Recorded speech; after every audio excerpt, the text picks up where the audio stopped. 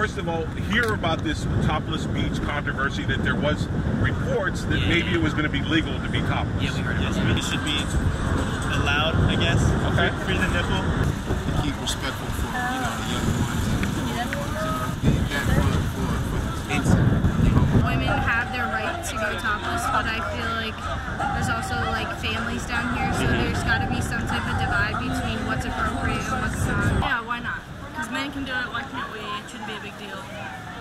Boobs don't always have to be a sexual thing. If you want to do that in your own house and your and have an own separate private mm-hmm. beach for that, mm-hmm. but I feel like the public beach where everyone is should not be allowed to be a topless beach. Yeah, no, I don't want to be like crazy. Like, like mm-hmm. everyone's topless. Like, no, weird. I feel like people should be allowed to have their own rights unless it infringes upon other people's rights. Men can go topless. Women should be able to go topless. Exactly. I don't gotta wear a shirt. You know, I don't wear a bra, shirt, bra. If I don't gotta wear it, women don't either. You know. I think you're born naked. You should be able to be naked. Have you seen anything topless? I wish I did, but Not, not, not on the beach. Not on the beach. Not on the beach.